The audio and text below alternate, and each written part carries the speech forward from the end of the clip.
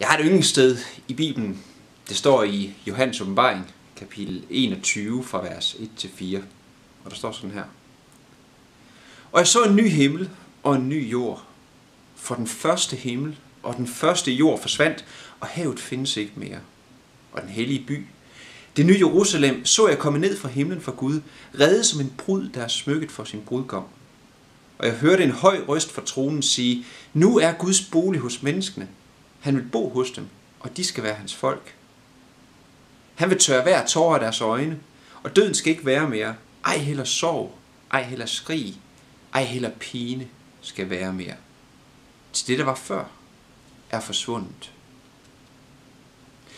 Jeg tror, de fleste af os kender til det her med, at sygdom, eller død, eller i det hele taget bare smerte, det er det, der omgiver vores hverdag. Når vi så læser på de aller sidste sider i vores Bibel, at en dag, der skal alt det her være væk. At en dag, skal alt det her afskaffes. Jamen så er det egentlig et tilbageblik på noget, som var menneskets tilstand lige fra begyndelsen.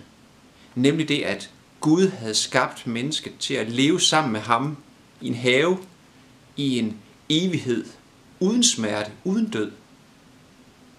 Og på de aller sidste sider i Bibelen, der kommer vi så tilbage til den tilstand. Og det er altså ikke bare en eller anden utopi, eller noget, som vi sådan skal forestille os i tankerne.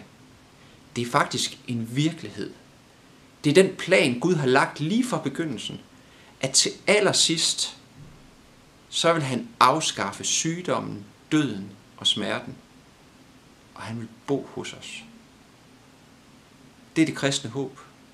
Det er det se, som hele vores tro, den peger frem imod. At vi en dag skal opstå, bo sammen med Gud, være hos ham.